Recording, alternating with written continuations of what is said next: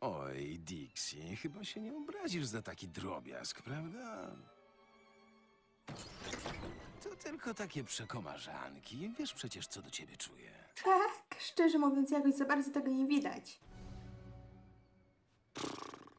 Naprawdę nie dasz się jednak przeprosić? Nie bądź taka, daj całusa na zgodę. A pocałuj psa w nos. Znalazła się, artystka zadychę. Pamiętaj, że to ja tu rządzę i że nie ma osób niezastąpionych. Ty tu rządzisz? A za kółkiem to kto siedzi? Ja czy ty? Nie...